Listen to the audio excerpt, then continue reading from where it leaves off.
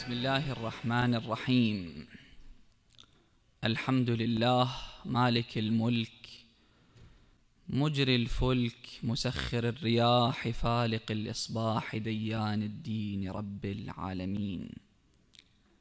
والصلاة والسلام على البشير النذير السراج المنير سيد الأنام حبيب إله العالمين أبي القاسم محمد اللهم صل على محمد وآل محمد. وعلى أهل بيته الطيبين الطاهرين المعصومين المكرمين لا سيما بقية الله في الأراضين وحجته على الخلائق أجمعين الحجة ابن الحسن فداه أرواح العالمين. قال الله العظيم في محكم كتابه الكريم بسم الله الرحمن الرحيم أطيعوا الله وأطيعوا الرسول وأولي الأمر منكم. آمنا بالله صدق الله العلي العظيم. Abraham Lincoln famously said about his government that this is a government of the people, for the people, made by the people. The government of Ali ibn Abi Talib, however, was a government for the people, of the people, but made by God. His legitimacy came from God Himself. The Prophet appointed him or made the declaration on the 18th of the Hijjah, and he asked all the people that participated in the, in the last pilgrimage that he performed to pledge their allegiance to Imam Ali alayhi salam. However, Allah subhanahu wa ta'ala appoints. And when Allah subhanahu wa ta'ala makes the appointment, people, humans, they don't have a say with respect to God's decision. ما كان لهم الخيرة. It's a verse in the Quran. He's the creator. He made the appointment. And yet, Allah subhanahu wa ta'ala isn't going to impose anything on the people. He isn't going to force anyone to pursue guidance in life. وَهَدَيْنَاهُ النَّجْدَيْنِ We showed him the right path and the other path that leads to deviance. You get to choose. On the one hand, it's nice because you have the option, but on the other hand, you'll be held responsible for the choices that you make. That's why you have to think twice before making a decision. Because no one is going to act on your behalf. We have heard some people say that I wish when I was younger, my father used to tell me to further my education, to enter university. I wish if my father had forced me, because I didn't have the understanding back then, and yet it was a choice that I made not to further my education. I wish if my father had forced me, because he knew, he foresaw the future. I didn't. When it comes to religion, that's the case with religion as well. You get to choose, and you will be held responsible for your actions, for your deeds. That's why Amir al Mu'mineen did not nominate himself they came to the Imam. They said, Ya Amir al Mu'mineen, we want you to lead. And the Imam wanted a near consensus. He wanted the people to choose him because he wasn't going to impose anything on the people. He wants the people as a representative of God. This is how God operates. Al Imam kal Ka'bah yu'ta wala ya'ti. The Imam is like the Kaaba. He doesn't go chasing after people.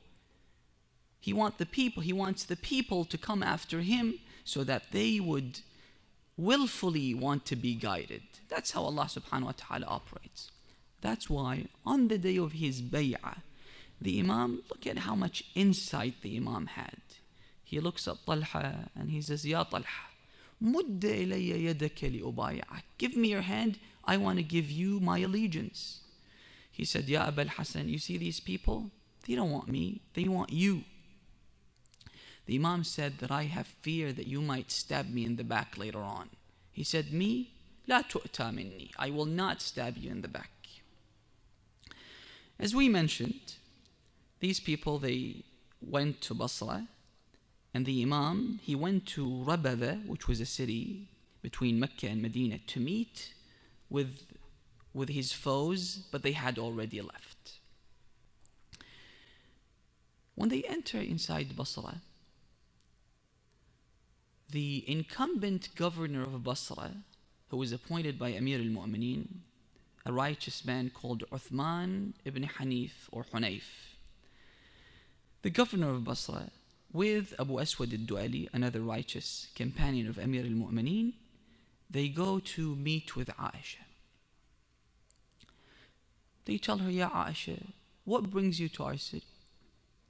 She said, first of all, Ali ibn Abi Talib is ruling unjustly. His rule is illegitimate. Why? Because Uthman was killed unjustly, he was brought down, and he became the unjust heir of Uthman. That's why his rule is illegitimate. But all the people gave their allegiance to Amir al Mu'mineen, and he wasn't the one that killed Uthman. Uthman was oppressed, and I'm here to avenge his blood. They tried to reason with her, but she wouldn't budge. So what she did, she went to an area called Al Mirbid, which was between uh, modern day Zubair and the old city, Basra. And it's where the battle took place later on. It's where Talha is buried today. She went there and she gave a speech. So she was actively involved in the rebellion against Ali ibn Abi Talib, alayhi salam. She garnered some support. When she gave the speech, there was a disagreement between the people, but she managed to garner some support. So she came with a group of people from Mecca in the hundreds, and they had a base in Basra, and she garnered some support because she's the wife of the Prophet talking. Then she goes with Talha and Zubair to the governor's office. And they attack the governor's office, killing 500 people from Bani Abd Qais. These were the supporters of Imam Ali alayhi salam. And this was the minor uh, battle of the camel, Harb al-Jamal al-Sughra, that took place on that day. Some respected figures in the society, in the community in Basra, they sought a uh, ceasefire agreement be- between the two opposing camps. So there was an agreement between the two. The agreement stated that the governor's office should be in the hands of the incumbent governor, Uthman ibn Hanif, and all the wealth and all the money in Baytul Mal, in the treasury, should be under his, his control as well. They signed the agreement. The only thing that the other camp had was that they had the full control of the city apart from the governor's office. After a couple of days, Talha and Zubair, they decided to ambush the governor's office and ambush the guards that were guarding the place. In the middle of the night, they attacked them. They attacked them and they slit the throat of 40 people that were guarding the, uh, the governor's office. 40 people in cold blood. There is an important uh, point that we need to address here is that as Zubayr ibn al-Awwam at least, he had a, a very bright past with the Prophet. What made him change his position? And the thing is that we're not immune from the outcome that Zubayr faced. Someone with this record fighting in defense of Islam, protecting the Prophet. And he was a loyal companion of Rasulullah sallallahu alaihi wasallam. What happened to him? The problem that, that he had, and we're not immune from this problem as well, is hubb dunya, the obsession with this world. This was his problem. And Amir al-Mu'mineen said, حُبُّ الدُّنْيَا رَأْسُ كُلِّ خَطِيئة The source for every evil is the love and attachment that we have for this world. For example, you want to be famous. You are in pursuit of fame. So you try to become famous legitimately through legitimate means. When you can't, you seek illegitimate means to become famous. It's like how these YouTube celebrities they look for viewership. When they can't compete with other famous people, what do they do? The woman. They realize that the more they expose cleavage, they would get more viewership. So this is what they do. They make compromises and concessions on their principles and ideals just to get more viewers. Or, for example, someone is in pursuit of, of uh, wealth. He tries to, to become wealthy and accumulate money through legitimate means. When they can't, they go through drugs. They, you know, accumulate money through selling drugs. Why? Because all they want is money. This is what they want, whether it's through halal. If they could do it through halal means they do it. If they can't, they do it through haram means. It doesn't matter because what they want is wealth. What they want is money. What these people wanted is they wanted government positions because they realized that when you become a president, a premier, a ruler, you would be in the limelight, you get fame. A lot of people will give you money, you get to rule. So, this is what they wanted. They wanted to become governors and presidents. When they are in pursuit of such positions, that means they are obsessed with this dunya. So wherever this dunya takes them, they go. Even if they have to side with, with falsehood, and they know it. And they know it. But they go against it because they want this position. Like what we see today in the world of politics. He's, for example, uh, pro life, he's not pro choice.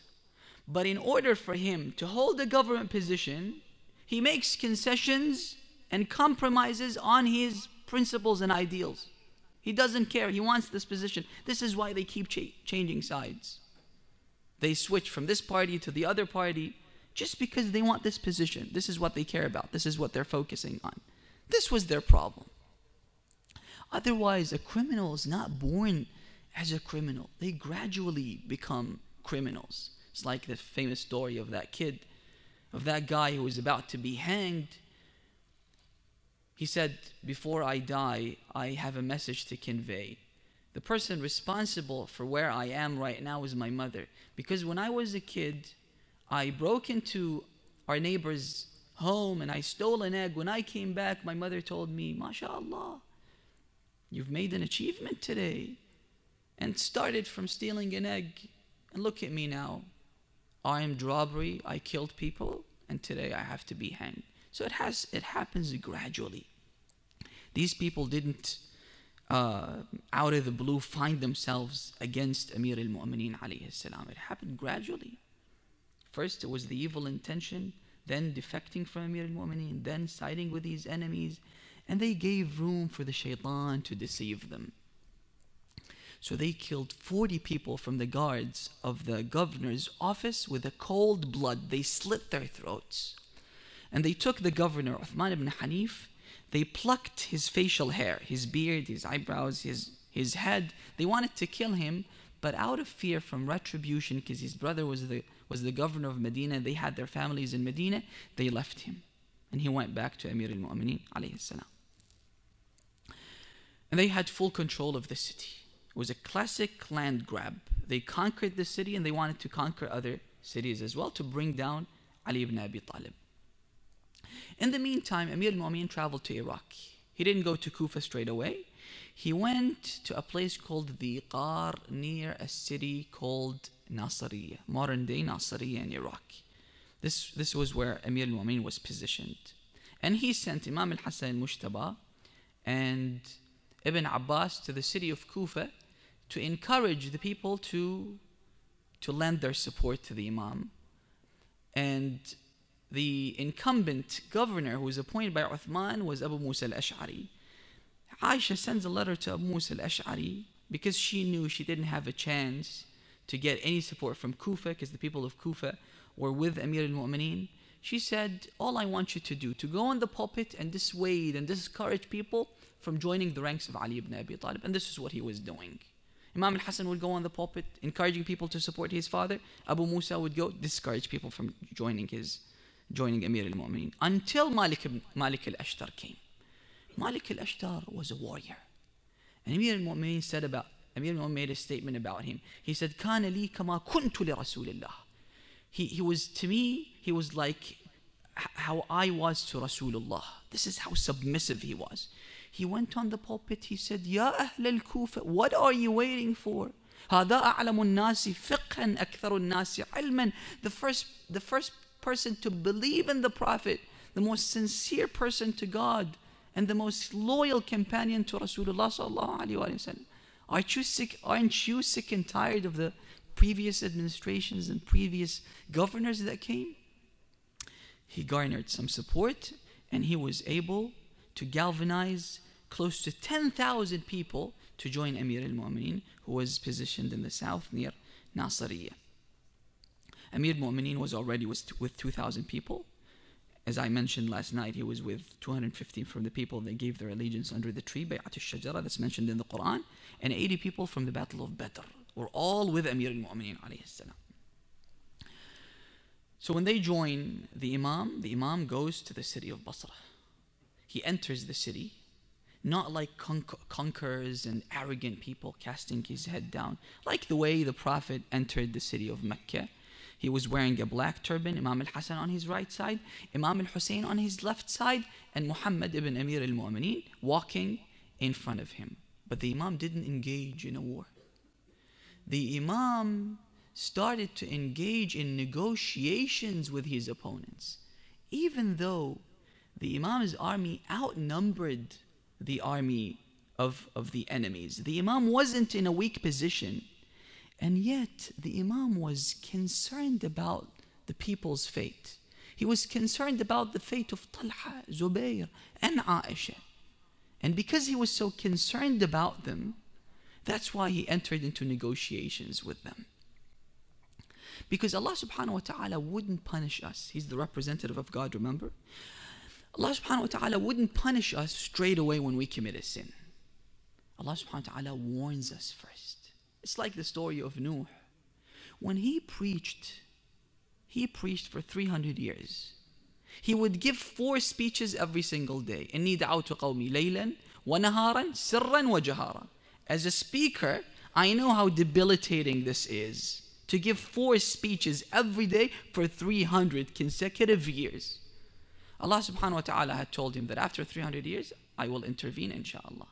After 300 years, these people wouldn't budge, they wouldn't believe.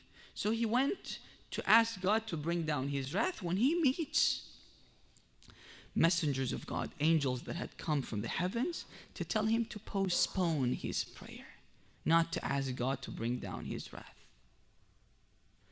Postpone it until when? Give them 300 years. 300 more years. Let them, maybe they could change position and start to believe. He waited another 300 years. And then after 300 years, he wants to do the dua again. He meets God's messengers telling him to postpone his da'wah again. Another 900 years. After 900 years, they said, You could do the dua now. But before you do it, we want you to plant the seeds of, of, of, uh, of, palm, of a palm tree. When the palm tree grows and it reaches the stage of fruition, take the wood, chop it, then create a, a, an ark, a ship, then do the dua. So Allah subhanahu wa ta'ala gave them 950 years for them to return to Him. That's what Allah subhanahu wa ta'ala does to us as well. When we go astray, He doesn't punish us straight away. He sends us warnings. For example, he uses drugs, right? He does drug overdose. He goes into a coma. He goes to the hospital. He's about to die. But then somehow Allah subhanahu wa ta'ala brings him back to life. He opens his eyes. This is a wake up call for him. Because if he died in that state, يحشر المرء كما مات. You would be resurrected the way you died. If he's intoxicated, if he's drugged, he would come on the day of judgment while he's drugged. He's gone, that's it, he's doomed. But Allah subhanahu wa ta'ala doesn't want this guy to die straight away. He sends him warnings. His friend dies, his mother dies. These are all wake up calls for them. And this is how Amir al Mu'mineen operates as well. He sends a delegation after a delegation. Ibn Abbas goes, Abu Aswad al Du'ali goes. He sent so many people to reason with these people. Eventually, Ibn Abbas goes. He talks to Aisha, and she doesn't budge. Zubayr, who is more lenient, but he's not convinced. Talha was very aggressive. He said that this is the Quran. Amir al-Mu'mineen says, let the Quran judge between us. Talha said, we can't argue with Ali. All we have for him is the sword. So he goes back to Amir al-Mu'mineen and says, Ya Amir al-Mu'mineen, these people, they want to fight, they're adamant. Let's start the war and we'll have an advantage over them if we start the, the war and they're, they're not prepared. The Imam said, I would never initiate a war. And this was a tradition that the Prophet followed, Amir al Mu'mineen followed, Imam al Hassan followed, and Imam al Hussein adhered by on the day of Ashura as well. I wouldn't initiate a war because I'm not here to kill, I'm here to guide. This is what brings me here. But they wouldn't budge. Amir al Mu'mineen he is relentless and he wants to do everything he can just to bring these people back. He doesn't want the blood of the Muslims to be shed like this. What does he do? He himself would go to talk to these people. In the world today, when there is negotiations taking place between two opposing camps, usually a person who's strong, in a strong position, wouldn't show any signs of weakness as if he's begging for negotiations. No. You would want the other side to beg for negotiations, like what we see today happening in Singapore. But Amir al Mu'mineen himself, out of concern for the welfare of the Muslims and the fate of these people, he himself would go. He takes off the, his turban, he throws his sword and his shield, and he walks into the battleground, ground, into the battleground. They say, Ya Amir al-Mu'mineen, these people are equipped with weapons. They could, they could kill you. He said, no, these people won't kill me. I know who's going to kill me. So he goes there, and then he calls out, فَلْيَخْرُجْ الزُّبَيْرِ Let the Zubayr come out. Zubayr comes out. He says, فَلْيَخْرُجْ Talha. I want to talk to Talha as well. So Talha comes out as well. He goes so close to them that history tells us that the necks of the horses were uh, they, they, were neck to neck, as if they're hugging each other. So the Imam looks at Zubayr and he says to him, Ya Zubayr, do you remember when one day the Prophet told you, Do you like Ali? You said, Of course I like him, he's my cousin. Do you remember what the Prophet told you? He said, كيف بك? What if one day you will rise against him unjustly? You will be the oppressor, the aggressor. He said, Me, Ya Rasulullah, would I ever do that? He said, Yes. It happened twice. Once when he was returning from Ibn Auf's house, and one when I returned from the war. Do you remember that? He said, Yes, you reminded me now of that incident. He said, Ya Zubair, Ya Talha, you know very well that the Prophet cursed the people of the camel. They are doomed. He said, but we have the glad, glad tidings of from the Prophet that we're going to paradise. The Imam said, Where? How? He said, What Sa'id ibn, ibn Zayd reports, he narrated that he heard the Prophet say, Ten people are going to paradise, Al Ashra al Mubashara. And I'm one of them. The Imam said, Could you name them? He said, Yes, of course. And he started listing the names of the people included in the, in the hadith. But he did, he did mention the tenth person. The Imam said, And who's the tenth person? He said, You. He said, So you admit that I'm going to paradise, right? According to this quote unquote hadith. He said, Yes. The Imam said, But I will not give you the admission that you're going to paradise. This is a fabricated hadith. And let me tell you something some of the people that you mentioned in this hadith, they will be in the deepest pit in a valley, in the inferno, in a casket. And every time God wants to reignite to the inferno, He would open that casket. And the irony here is that the person that reports the hadith, Sa'id ibn Zayd, one day he came and he was the only one that heard, heard the Prophet say that. He came to the Muslims and he said, I give testimony that I heard the Prophet say 10 people are going to paradise. And he named nine people.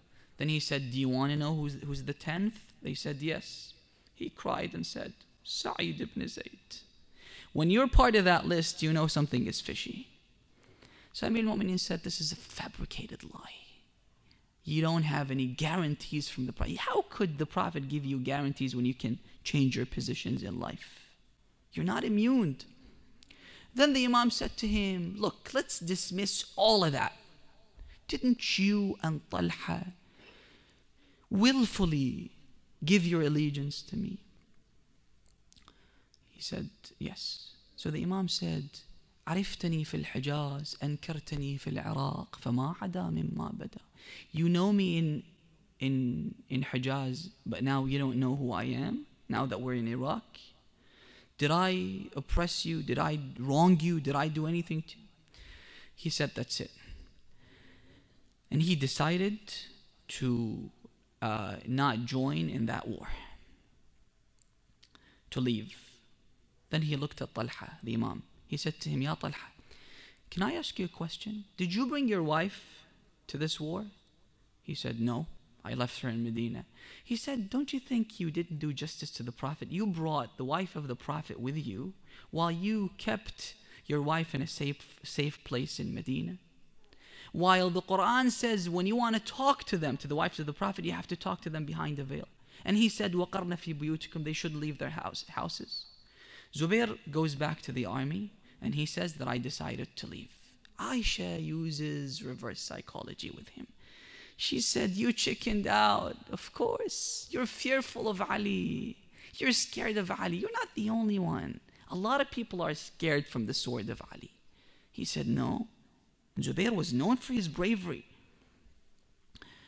Then his son Abdullah ibn Zubair, who was a wicked man a wicked man. Imam Ali says, La zal Zubayr minna ahl al bayt. Zubayr was one of us, the progeny of the Prophet, until his son grew up. Abdullah ibn Zubayr. He was a person that wouldn't say Allah salli ala Muhammad wa ali Muhammad, saying that because Muhammad has relatives that would become proud when they hear the name of their relative Muhammad. So I wouldn't say Allah salli ala Muhammad wa ali Muhammad. So he said, Al Jubn, Al Jubn. Yes, you're scared. You're scared from Ali ibn Abi Talib. He wants to prove them wrong. He unsheathed his sword, charged at the, charged at the army of Imam Ali alayhi salam, 12,000 people. He charged at them. Imam Ali said, Utrukuh, ufruju lahu fa'innahu mu'ayyar. Give room for him to make this maneuver because they're making fun of him. So he came in the middle of the Imam's army and he instilled his, his spear in the ground. Then he comes back. I am Jaban. No, I'm not Jaban. Then his son comes up to him and says, Yeah, oh, dad, you were the one that ignited this war. You created this war. Now you're leaving? What will the Arabs say? So Zubair said that I made a vow. He said, Well, you can pay kafara. He said, Okay, then I'll free my, my slave uh, Makhul as a kafara and rejoin the army. But Amir Mu'min would leave him. Amir Mu'min came back again to talk to him. He convinced him. Eventually, he left the army. But Talha and Aisha were adamant.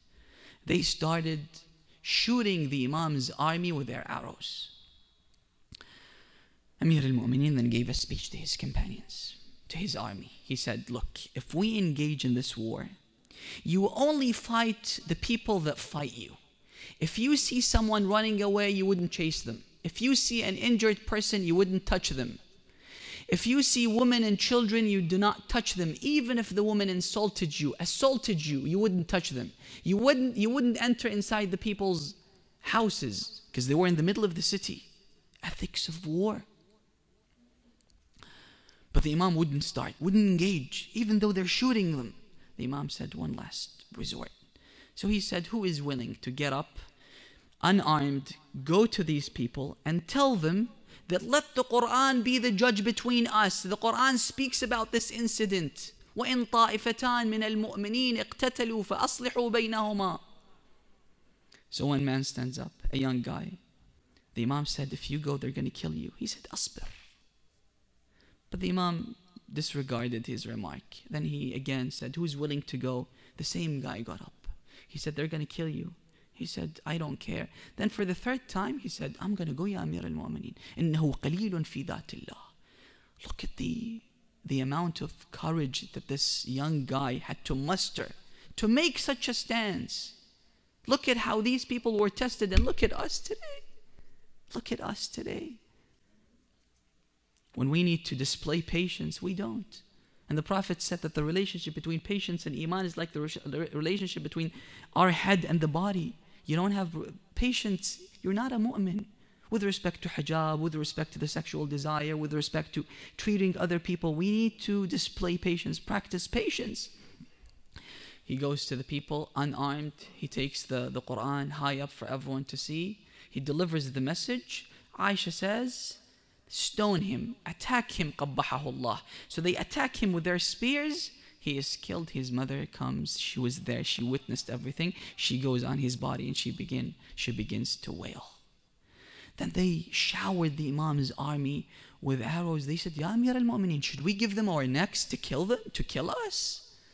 So Amir al-Mu'mineen was then when he said, Bismillah wa billah. He gave the standard to his son Muhammad ibn al-Hanafiyyah. And because him and his children would be in the forefront. He wouldn't let the Muslims fight for him. He has to be in the forefront. He gave him the raya, which was the, the standard of Rasulullah. And he said to him, This is a raya, la turad walan turad abada. Anyone who has this standard will become victorious.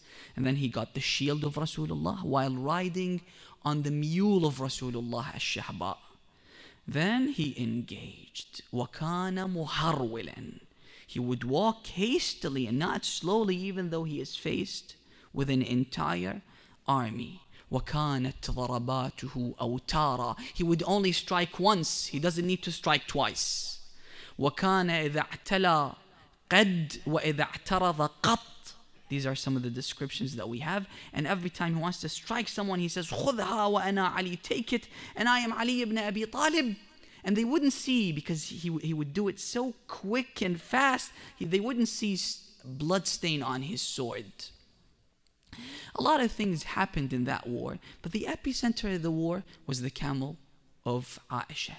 It was a source of inspiration for them. They would seek blessing from that camel, from the urine of the camel, from the waste of that camel. And anyone that wanted to fight would first go to the camel and take the, the, the rein of the camel and then would engage. A man by the name of Ka'b ibn Sur, who was a, a tribal leader, he was reciting while revolving around the camel, يا معشر الأزد عليكم أمكم فإنها صلاتكم وصومكم.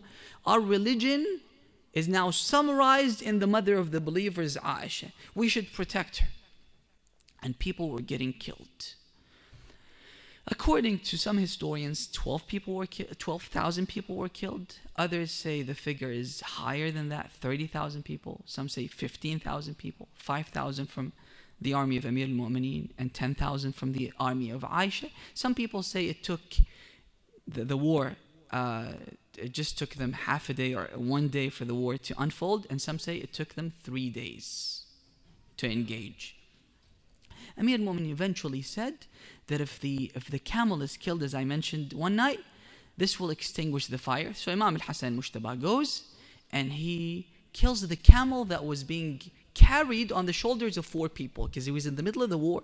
It was, a, it was a fierce battle. So his right hand and left hand were, were severed, and his right leg and, and left leg were also severed. So four people were carrying the camel. The Imam al Hassan managed to strike a spear in the thorax of the camel. It fell. When the camel fell, Aisha straight away said, Who killed the camel? They told her that it was Al Hassan ibn Ali. So she held grudge against Imam al Hassan. When Imam al Hassan was poisoned to death, he was about to be buried near his grandfather. She came out saying that you're not burying someone that I don't like in my house. So she prevented him from being buried next to Rasulullah sallallahu alaihi wasallam. So you know what happened and what was the answer to what incident. Anyway, when the camel fell and people scattered, and this brought an end to the war. Amir al-Mu'mineen quickly ordered Muhammad ibn Abi Bakr, the half-brother of Aisha, the son of Abu Bakr, who was in the army of Amir al-Mu'mineen, to go and to see if his sister Aisha is okay, and to guard her, to protect her. So he goes there, he removes the tent of the mahmil. She, she said, Who are you? He said, أخوك وأبغض الناس إليك. I am your brother and someone that doesn't like you, that detests you. She said, Muhammad, I'm glad that you're safe. He said to her, Are you sure? Because you wanted to win in this war.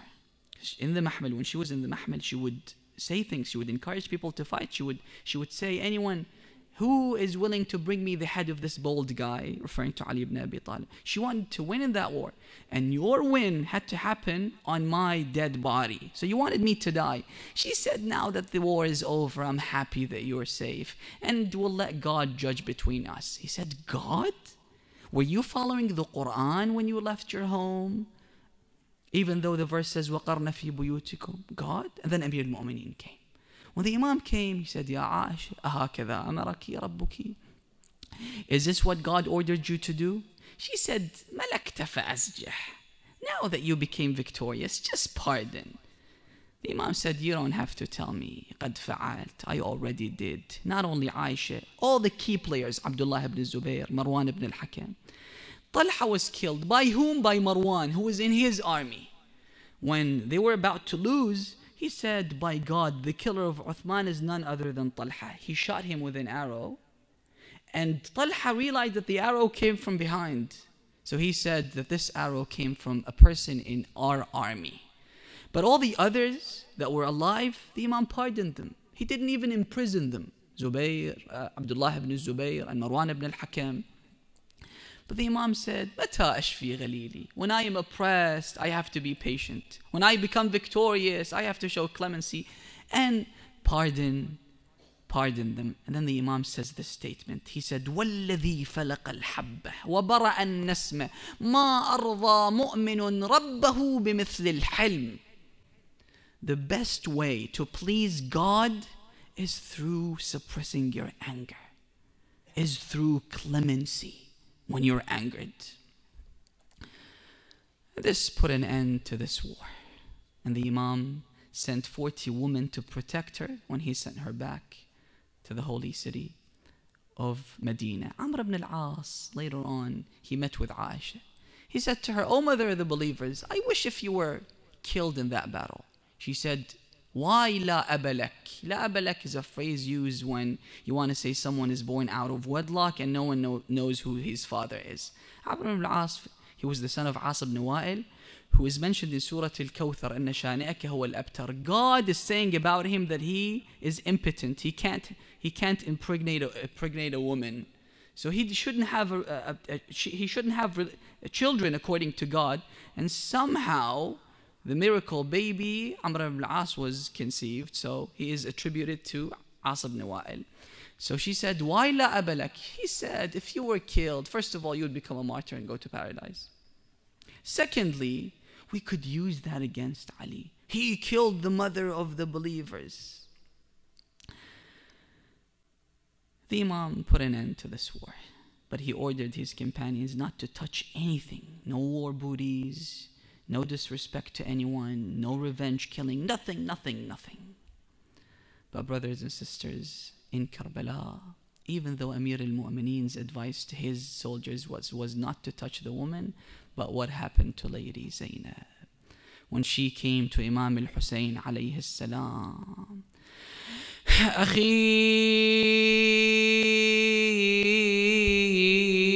عزيز علي أن أراك على الثرى عزيز عليك أن ترى اليوم ما بيا Ya Aba Abdullah, there are foreigners standing here. There are no mahram standing here. Otherwise, I would show you my body. And how my body is turned blue because of all the lashes, because of all the whips. اتقربت لي واتقربت لي سمعت يون وتقربت لي أثار الولي متوسد يديح وشفت ألف وسبعمية جرح بيح. يا جرح داوي ويا جرح خليه I saw so many wounds in his body. Which of his wounds should I cure, should I heal, which should I leave? قالها يا زيانة بكل جرح بعضا يخليه يحبس جرح اللي بقلبي خلي عينك عليه جياتك جياتك يا خويا فاقد الراي. I am bewildered though Aba Abdullah. جيتك يا خويا فاقد الراي الراي الراي. ومن الضرب تتراجف أعضاء. You don't know how much these people attacked us. ومن الضرب تتراجف أعضاي جيتك علي أعداي توماي يقولون هاي اخت الذبيح الماشرب ماي قالها يا زينب يا زينب يا زينب عندي لك وصية تمشين للطاغي السبية. من تمشين للطاغي السبية خلي عينك على بنيتي رقية. اي اي خلي عينك على بنيتي. يا يا يا يا يا يا يا يا رقية يا حمى الضاعنات بعدك ضعنا